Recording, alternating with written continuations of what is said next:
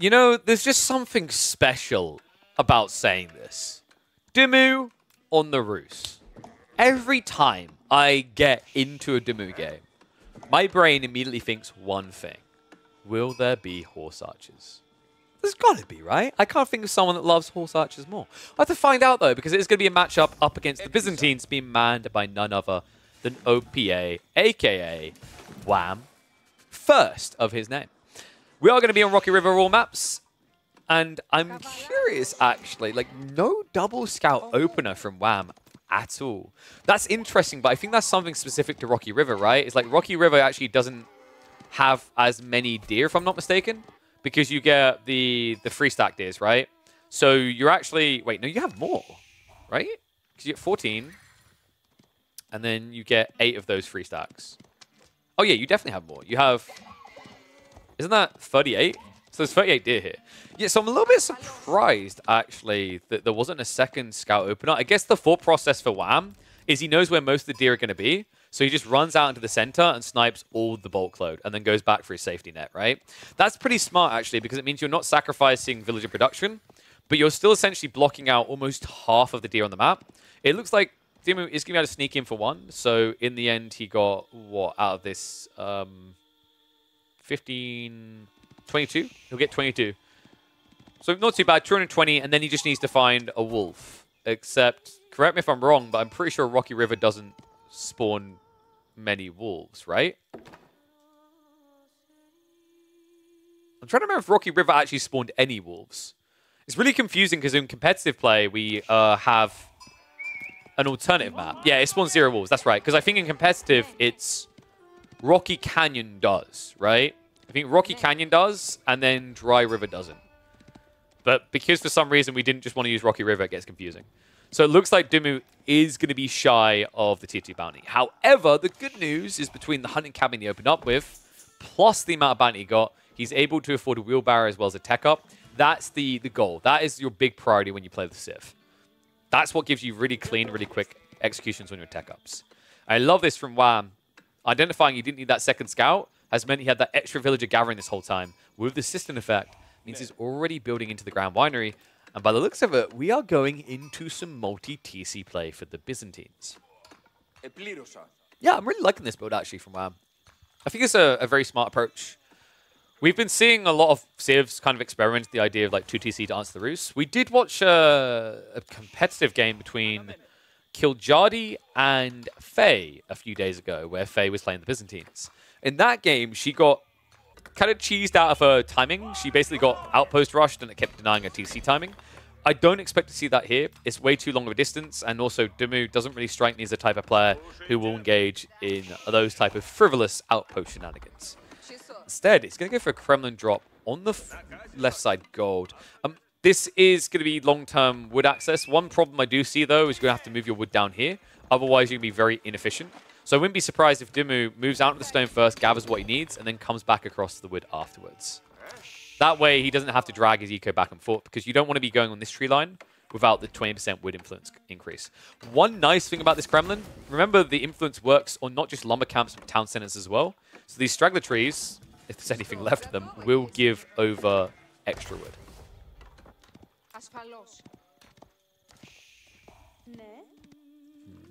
How did you guys vote in the end? 300 for Dimmu and 9k for Wham? Wow. I guess I know where all the Dimmu fans are.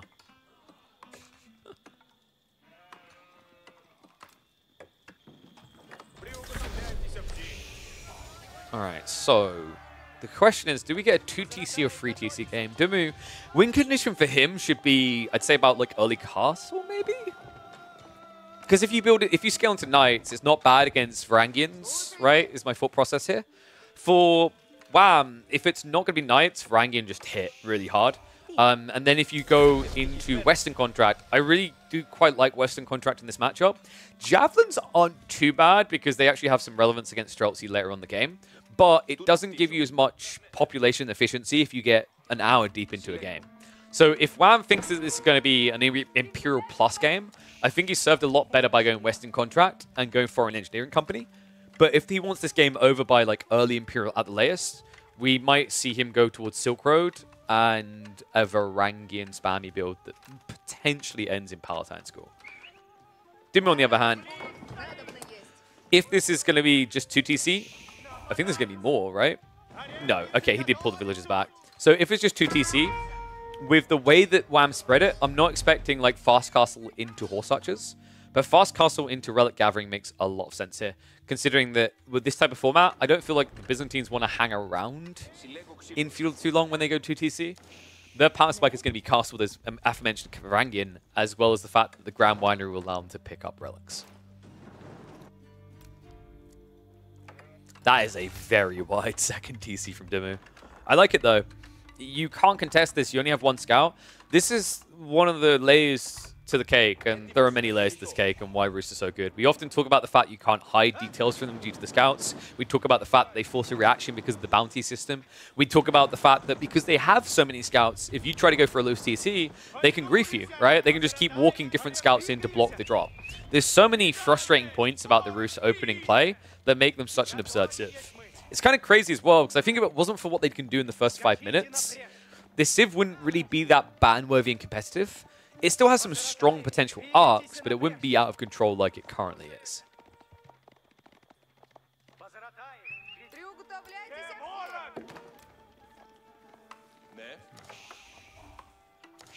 Actually, I'm curious. One's in chat if you believe in Dimmu, two's if you believe in Wham now, how you see this is going. Because we're definitely going to towards Castle Age. It is going to be a race. I don't expect either player to really build a single unit until they're in Castle. Dimmu might add in the stables. That might be the exception, right? Um, he's definitely going for something with this amount of wood. The question mark is what? That's also interesting to me. He chose to build the double lumber camp to connect into his primary wood line instead of just moving out the south one. In fairness, it's less walk distance, right? And is he going gradual second TC, uh, third TC, rather? That's what I was wondering with the amount of wood he's got, but like it, it feels a bit overkill here, right? maybe you want Arrowslits somewhere? Okay, there you go. That makes sense. He wants Arrowslits. He's going for the ball. So better gathering rates. You need this to contest the Byzantines at this stage. Level 2 Cistern, the gathering rate increase across all their economy kind of mirrors out against what you're getting as the Rus at this stage. Once they're at level 3 Cistern, they pull ahead. So you need the better gathering rates to contest. Wham. Not going to be able to yoink this away. Almost gets pinched on his scout as well. As we were saying, because he's gathering the stone, we should be looking at Arrowslits. Meanwhile, Wham has gone for the jabs. Jabs are pretty nice here to try and just raid. Accuratory activation almost does at least get rid of the scout, but not able to. And this, this is, just, once again, what annoys me is the fact that the Rus were able to make this play on the opposite side of the map with no real cost loss to them while still keeping info on what you're doing at home, right? It's just such a powerful element at high-level AoE 4. I imagine, you know, there's probably plenty of us that just play a chill game here or there. We're like, I don't really get why Roosts are that, that big of a deal. I don't feel like they're that powerful. At the highest level of play, information in RTSs in general is everything. And there is not a single civ in the game that can garner more information in the first 10 minutes than the.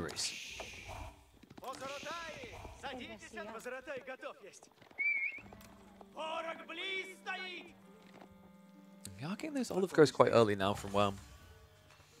Second group of jabs is on the way. I'm expecting this to just be a play into Knights. This is not the type of game I would anticipate Horse Archers in because you are up against Javelins, right? And that's something that should have been scouted by now by Dimmu. I'll be surprised if he doesn't know about them. So realistically, you're probably just looking at standard Knight spam with a gradual play into Boyar's Fortitude.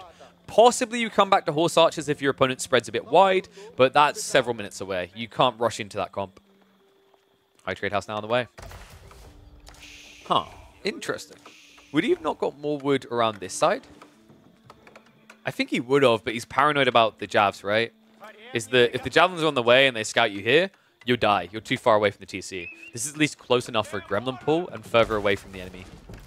Okay, ignore me. He's going arch. He's actually doing it. Who am I kidding? I said he loves his horse archers at the start. I should have had faith in, in my belief here. Doing this against Javs is pretty bold, but when you think about it, like your gap close is quick, you have high base damage.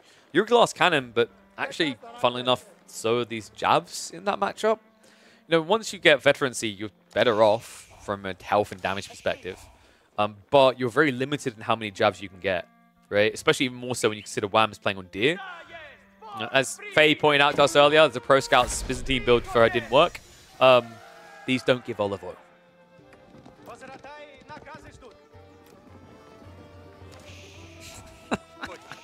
Freaking love this.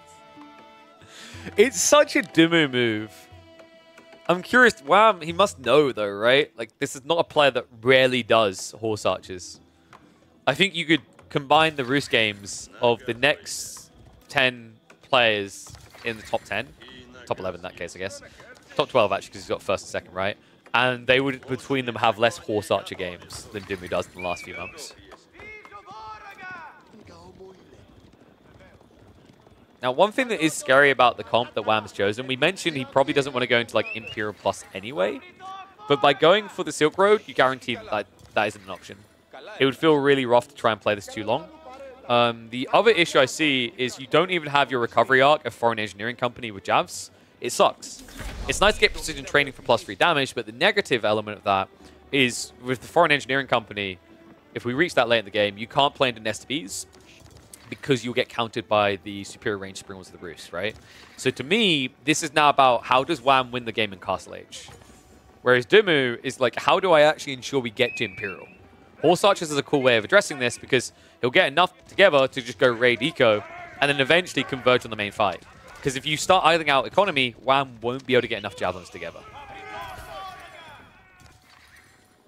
Priority one, of course, is going to be this Relic's first one already home. Great intercept as well, just blocking out the easy relics. You notice that actually Wham was intending to go for the more ambitious ones first. Should have a big enough army to guard this one. But the north side ones are not going to be up for negotiation. Love the way that Dimmu's playing onto pocket resources as well. He understands that Wham's army is immobile even the layer you add in in Castle Age, like, I think if I had to highlight one kind of weak point of the Byzantines, and I'm hesitant to do so because of how powerful the Castle Age is, it's the lack of mobility in the comps. You always play infantry, right? If you notice that about Byzantines, if it's not Hippodrome, it's never cavalry. And cataphracts just aren't really affordable even with Hippodrome. The only reason you have cav at that point is because you went horseman. It's like the negative, the weakness of Byzantines is playing a wide map. That's why I really like Dimmu's combo. He can choose where the fights happen. Wham can't. Or such as... Ooh, ooh, ooh, oh. Oh, just in time. I thought he was going to be a bit too late there. But now, with the scouts, he could break through. The problem is he's probably going to have to come home to address this. He got caught on the pocket. Well played.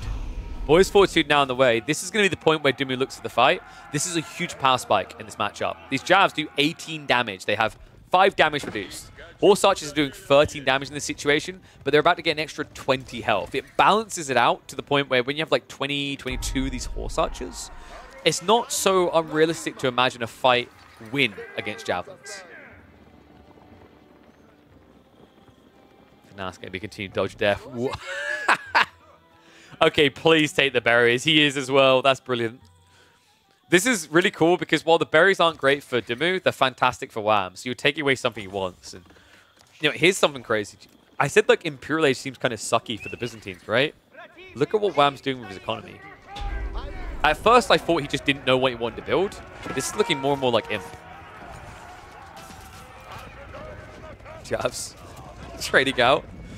Actually just dealing with the scout straight away. But you see what I mean with the damage increase. Once these Limitanei are gone, Dimmu can just chase this down, and there's no way Jabs can retreat quick enough. Looks like Limitanei did find the villagers, so that's going to be a shift away again. Not the worst case scenario to be forced away here now that you've got the hunting cabin up, right? It's going to generate some gold. Uh, by the way, did you guys get your numbers in for the high trade house? I didn't see any in chat, so time to fix that.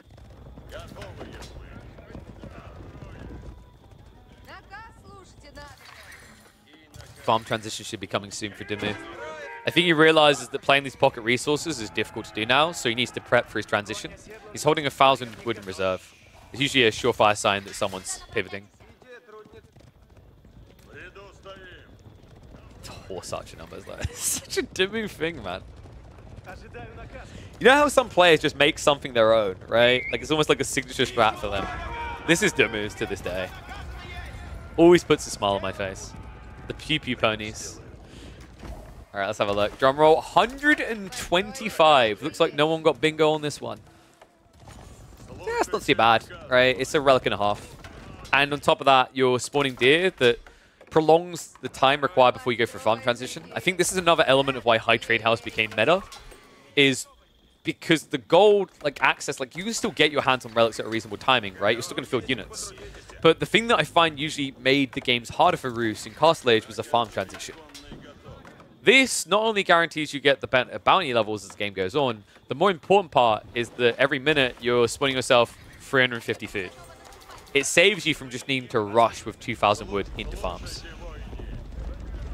And no, no, not Pew Pew horses, Julie Beck. These are Pew Pew ponies. I coined that name about two years ago. Actually, might be longer. Love me some Pew Pew. I've got Teardrop shields on the way now hmm, pretty good here with the Spearman. Actually, this is kind of crazy, guys. so Horse Archers have a really long wind-up to attack. Teardrop shields, you drop the shield wall and you run. Look at the movement speed. That's 1.44 without charging. If you're in range to charge, you can actually gap close cavalry. Really smart play. Problem is, we are now seeing Spearman coming out, right? So there's a body blocker. And because you went jabs, you actually don't have a great counter to spears. Men at Arms also getting added in now. That is quite interesting here. It looks like Wham did actually read it ahead of time, though, because he's got crossbows on the way. I think actually Wham's more paranoid about Knights than he is about uh, Men at Arms, because he saw Boyar's Fortitude, right?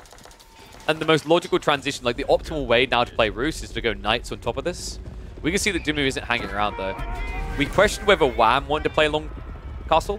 I think it benefits him. Dumu wants out as cleanly as possible.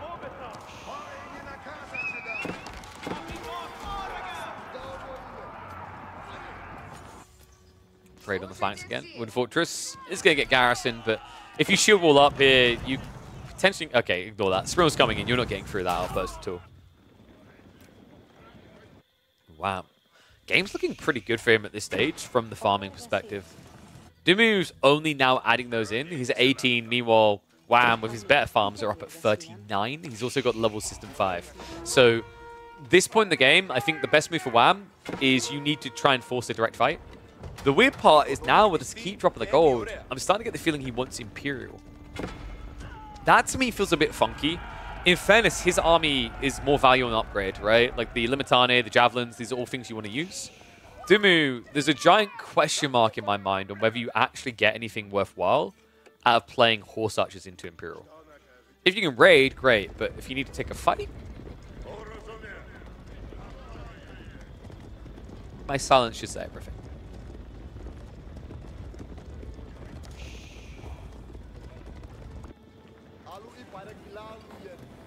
Kind of impressive the numbers you can get with Byzantines on farms, right? This was before level 2 eco tech. It's basically 2k food with, what, 44 villages? Bloody powerful Ziv. What I like about the Imperial Age potentially for the Byzantines... Okay, it's going to be foreign engineering company. I was about to say is the idea of like Unlimitane and Varangian spam supported by the jabs that take out Streltsy. This, to me, is a bit weird in that potentially it works because your opponent isn't imped up yet and he's playing Cav. But the moment we grind this into a late Imperial game, Foreign Engineering Company feels worse than Palatine School to me. I agree with the idea now because of what Dumu's built. But if you can't turn this into a snowball quickly in a win, that's when I start to favor the Rus in Imperial. Wham. Marching out. Good posturing. Just make sure the walls can't be breached, because these walls go down, the horse archers run past, right? And they just hunt eco. It's like the best case scenario, because realistically, when we tech up, Dumu shouldn't really want horse archers anymore. It's not even long-term scalable, because this map doesn't have a great amount of wood. You have two big fire, two big wood clusters, rather, and then a bunch of baby ones, right? My armory now on the way. The Varangian raid has been scouted out. Horse archers quick to react to. And what is the desirable comp now? I think for Wham, it's going to be Massing Javelins, and then probably Varangian works quite well here for one two bumps. Then when you see it Streltsy, I kind of favor Limitanei, because then you just need an efficient front line. And the reality is like Varangian, with their six ranged armor, are going to reduce less damage from Streltsy than the Limitanei with a 30% reduction on shield wall, right? So it's just a better unit. And it's more cost efficient, right? You're spending 130 resources on one, or you're spending 90 resources. And the 90 resources resource is more reliable. Seems like Wham agrees. Limitanei upgrades on the way. Has queued up additional ranking as well, though. All such as, of course. When you're this many in, you might as well get the elite status. I imagine Gallop should be on the way too. Last time I checked, Gallop is still bugged, though. The way it's bugged is, from what I can tell, you don't get the extra range when you activate Gallop. I don't know if they ever fixed that.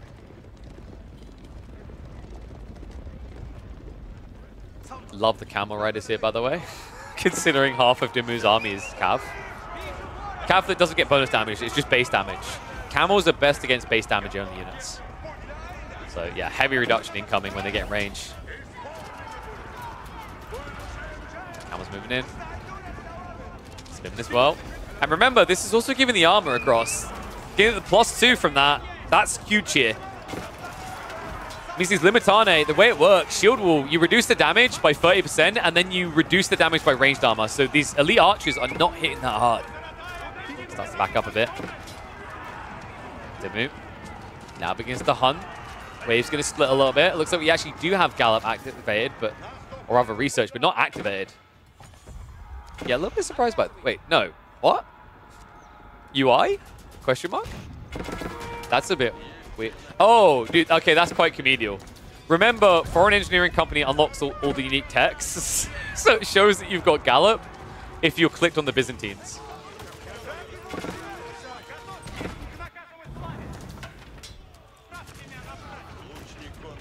It's like they don't care about it there.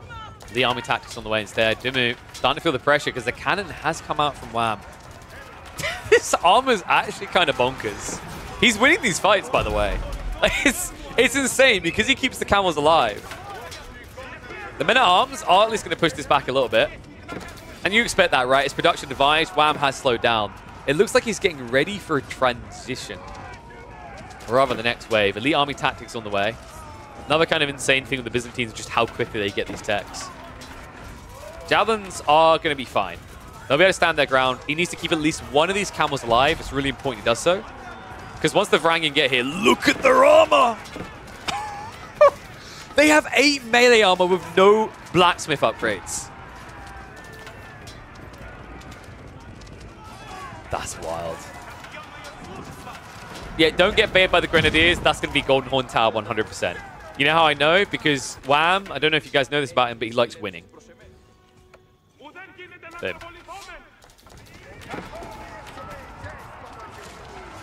If you put your camels in a ram, does the buff still provide? I'm pretty sure it doesn't. I think they fixed that quite a long time ago. STB's now coming out, though. Spearmen need to move around the back here, but they're not going to be quick enough. Varangian would intercept. I'm worried that we now have an issue here. Dimmu has not prepped anti-siege. Spearmen are not a quick answer. And now this Royal Cannon's actually a bigger answer to the siege on the other side. Starting to get Streltsy added in, but the STBs really are going to be the counter, so Dimmu needs to retreat away from this. Wham now has a significant eco lead. 128 to 100. Dimmu has at least been forced away from Horse Archers to a degree. Looks like he's going to keep some of them alive and they can raid, but this is no longer your winning comp for a fight. You need to be under Master Elsie, but the thing that scares me more is you need to solve for the Nest of Bees. That's why Spring's on the way. Remember, he did go high armory, so actually he's favored here. Banded arms means that realistically, if this turns into a siege game, Dimmu should never lose. And if you recall, this is the point in the game I said that I was worried about for WAM. I hate this stage in the game for Foreign Engineering Company. You lose all value out of it directly, and it falls back to the Javelins and the Camels. Remember, the Javelins, they get plus three damage from precision training, and the Camels give the aura. Which is pretty cool, but the problem in this matchup is that you are fighting into a Civ that builds high base damage units, the Streltsy. So the idea of actually getting plus two armor isn't substantial. It's not that important. Love this raid coming in on the backside though. Berserking has got the extra movement speed tech in. So extra eco damage being done to Dimmu's backside of this. Also denying him on the gold. And actually, like gold access wise, he's got 1.6k close by. The rest is a little bit spread wide and exposed. And that's pretty nice for Wham. He just scouted that the transition is coming into Siege. So this is where he needs to change his script. And I think it is just going to be mass Varangian with Javs. I really like that. Javelins are decent answer to Streltsy. Just look at the damage at this stage of the game. They hit for 31 damage into the Streltsy and they have extra range, remember. The Streltsy, they didn't go to their local opticians. They haven't got glasses. They only have four tower range. So you can actually kite them quite effectively. Mango's still going to be a problem, sure. But with some staggered line formation, you can start to whittle away at these numbers.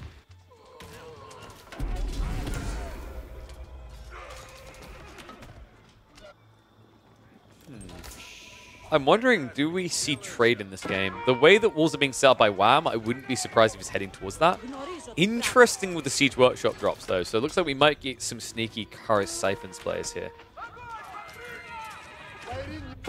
All right, last the Horse Archer is dead. We can get into some real gameplay. We're done with the memes. Ambitious on the Berserk. It's going to go for it anyway. Good lord. I mean, you should be able to get all the Siege here. Yep, no escaping from that. so fast. 1.46 movement speed. He did whoopsie there and leave a little bit of siege left over. Somehow still gets the mango. Like, dude, these units are insane. Remember, they hit for 28 damage at the stage, and that's only because he hasn't been getting the melee attacks. They can hit for 30 damage per strike, with an attack speed that's almost once every second. It's insane just how good Varangian can be. Back on that gold again. Sudumu actually has critical mass, he just needs to fight now. What's interesting to me is this idea of sending Varangian in to clear the siege while the Nest of Bees Hail Mary it, right? That's exactly what Wham seems to be going for here. He wants to go up to 4 Nest of Bees, he's got 40 plus Varangian. The Spreel count is only at 2 for Dumu. I think that's way too low.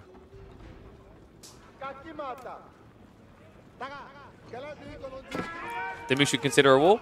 Um, he has got walls. He's got palisades. The problem is you're playing Rus in Imperial Age without Spasskaya. You can't actually wall. I think that's a big disadvantage on this map, by the way.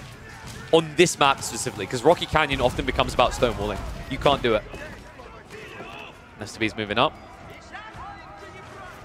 Camera Chemistry only now on the way for Dimmu.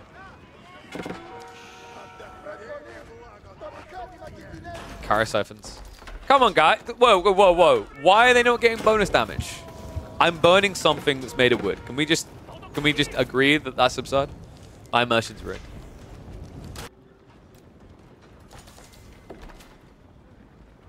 I think that Cheirosiphons, if like um, if another ram or let's say like a siege weapon walks through the fire, you should just hear screaming and they should be on fire constantly. The little burning effect you get when a building's almost dead. All right, enough of my dumb ideas. Let's focus on the fight coming. Sprint count now up to four. This is looking a lot better for Dimmu. This is what I want from him. He needs to be careful about these flanks still. They are a problem. Wait.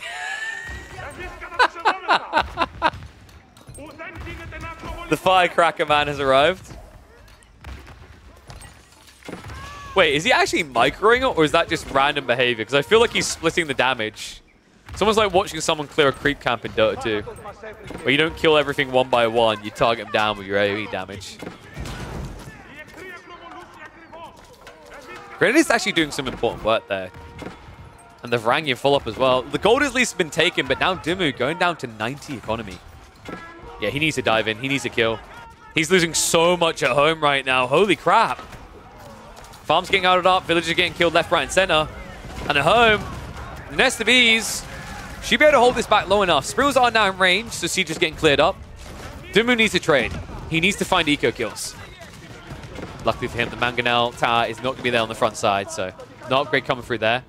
Varangian were trickling into their death. That's going to be reset. The damage at the back here. I mean, there's still no strong defenses to really hold this. The Kremlin alone against this many Varangian is going to tickle. How is this Grenadier still alive? I feel like I just want to watch his story. He's on a journey. The journey is called Select All Army. Oh my god, he has actually selected all army. What? Alright, not gonna lie, that's a bit cursed. It's kind of like that time where you want to have a button that exempts certain military from Selectable Army, right? Demu. He's got the aura. I don't think leading with the camels is the way to keep the aura, though. Berserk gets activated. He's heading on in. he wants it all, and he wants it now. I think that possibly was too long of a wait on an A-click. I mean, the Streltsy count has barely been tickled. That was a lot of ranking deaths.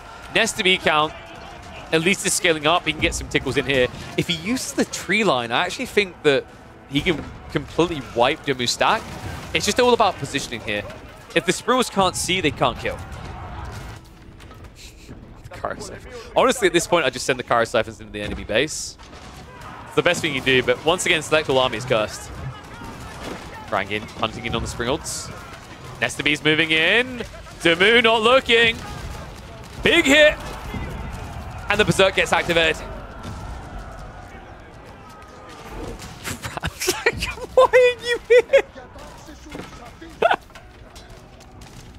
of course, the bait Streltsy to attack you. Slow down the reinforcements, as, as intended, as planned. oh, bless him. Wham. It does actually get in the breathing room. He's cleared up the Rams.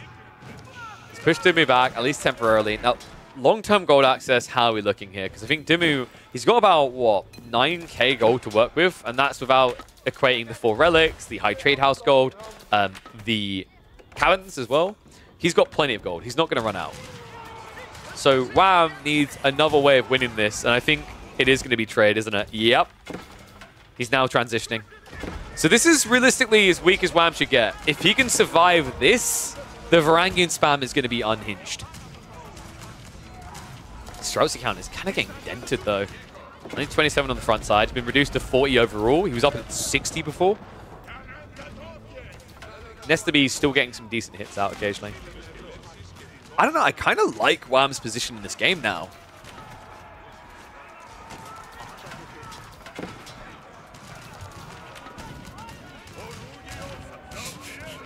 I just love how the Javelin's the MVP here. They're the ones killing the Streltsy. Everything else is cannon fodder. I do feel like, in a way, Wham is going the hard way about this. Oh my god! If he gets a reload, I mean, he could turn and shoot again. It would be worth it for the Streltsy. I think he's a little bit hesitant, though. Despite that damage, Dimmu going in with the headbutt for a critical hit. Rams now moving in onto the TC. That's not too big of a concern. The big concern is going to be the fact that trade is about to be exposed. Wham is indeed trading, and Dimmu now knows. Now sniping out the traders. I think this game is now a loss for Wham. And, you know, the crazy part to me is like Limitanei. If he just had Limitanei here, I feel like that's a more cost-efficient and sustainable front line. And food is the thing he has plenty of. Gold is the thing he's been struggling on. I think this Varangian may have just drained him. Streltsy, 20 of them still. Rams continue to shuffle on through, and I, I think we're reaching breakpoint in this game. Nest of Bees are trying, but sadly too often dying. Varangian are at least going to get a backstab, so maybe there's hope for the Nest of Bees, but I just, I feel like with Berserk being used to get around the back here, it's not going to be enough.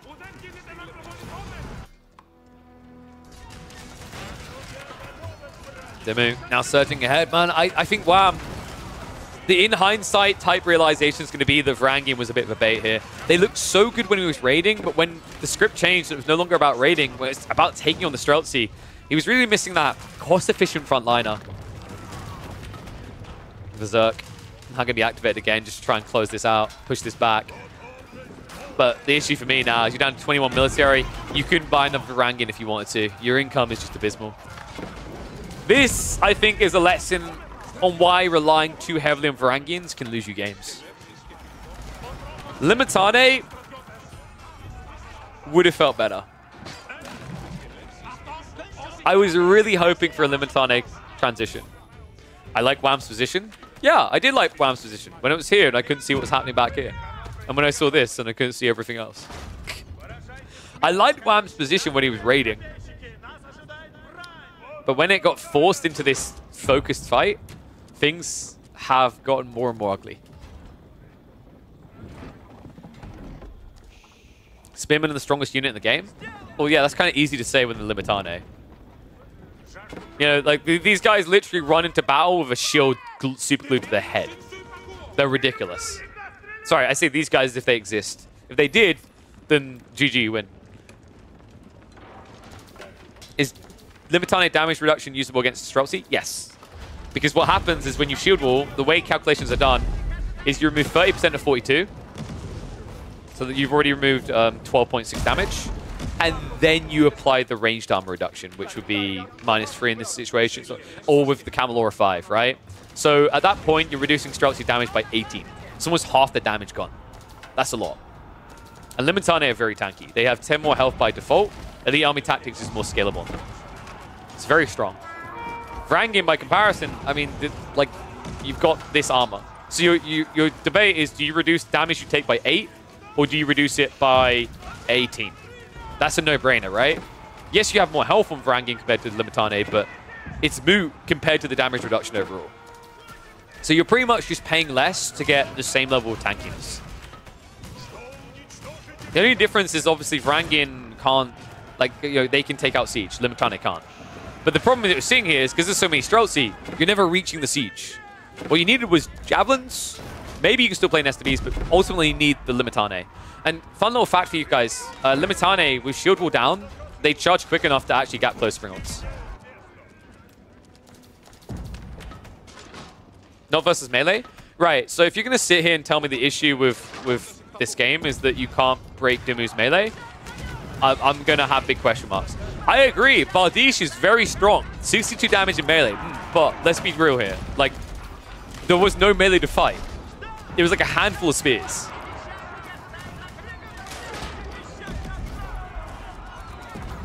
It's a guys. Dimmu. 13 Rams with Wandering Towns. I think we're about to see the end of WAM.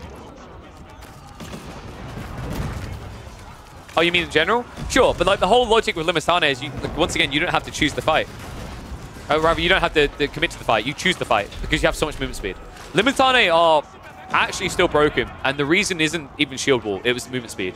1.44 base default movement speed is insane, right? Think how broken we often think Palace Guard are. Limitanei aren't that much worse off than Palace Guard from a like killing unarmed units perspective, or choosing where you fight. I think the problem is that right now, Varangian are MVP in Castle. I think people hold on to the idea of Varangian Imperial for a little bit too long. Varangian are not your S tier unit in Imperial. Especially if you don't have unlimited gold trickle, which is hard to get into. It's Limitanei. What I like Varangian for, they're a hybridized unit. They're good front line, they're good at taking out Siege, and they're good at, raiding Eco. But when you're this deep into the game, and it's turning into like this fight against Master Elsie, you know, they, they won't be able to deliver you to victory. Not unless you've already got 40 traders.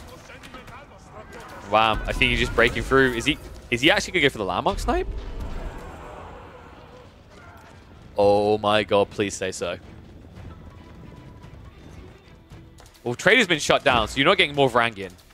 So somehow these guys have to do enough work. No, this is just eco kill, right? There's no way you end the game off this. And the problem is now look at what Dimmu says. Okay, if, if you want to do that, I'm just going to go in. I've got bombards, I've got rams.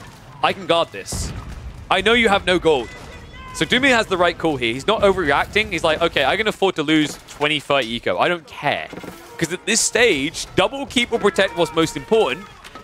And by the way, that is bonkers. Double keep plus the Kremlin. Just to guarantee not enough damage is done. On the other side of this, with the bombards now here, if you start breaking these systems, everything falls apart. Well played, Mr. Ben. His own trade is at least being hit, but I just don't think he cares at this stage. His passive gold income far exceeds the Byzantines. And wait, wait, wait, wait, wait, wait, wait, wait. Hold on! Clever girl. He's evolving. He's learning. However, he now needs to get either Nest of Bees or Javelins to the backline. The Limitanei cannot win on their own. They are your tank. You're in a World of Warcraft MMO experience right now. Someone tanks, someone kills. So for now, it's going to be the Varangian. Nest of Bees coming to assist, but All of a sudden, Dimmu about to lose a lot of Streltsy at a critical point in the game where the gold is beginning to dry up. Oh my god, dude, Wham. Are you from another planet? I mean, don't get me wrong, guys. This is still an uphill battle, but Wham, in the last two minutes, or minute and a half, has made all the correct moves. He ran to raid the eco. He's shutting down the trade. He's still over here with the Varangian. He's spread out across the map, right? He knows he can't fight Streltsy directly. And then he repels it with Limitanei. Now, this is still far from a win, but this is step one on the route to recovery. Even the Limitanei, like we said, they can choose where they fight. Similar effect to Varangian. Smart identification by Wham. And the cool thing, right, is your economy has been shrunk, but now all of it remains in the corner further away. The only thing that can be kind of harassed is trade. Everything else is far, far away from Dimmu right now.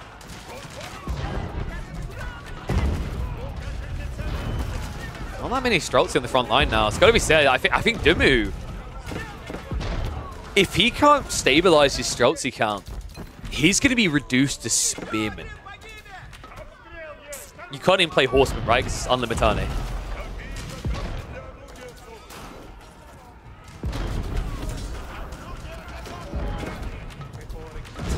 love how scrappy this game has become. So the ranking rates have been cleared up. They're not coming anymore. Wood is going to become a problem now for Wham. It's got to be highlighted. He's got a wood cluster over here. This one's already been exhausted. And nope, he just doesn't think he's got anything left in it. GG gets called. So he realizes in the attritional war, there's simply not enough access left. You got to ask the question, had he gone to those Limitanei just a few minutes earlier, could this game have looked so much different? Can't take anything away from Dimmu, though. Great read on his timing, masses into Streltsy, and goes to that pushing when it matters most. But as we said, this matchup, you don't want to play late game Imperial against the Rus, not unless you've got an insane upside. And Wham was never able to get that. Benny Boy just too good on his Rus.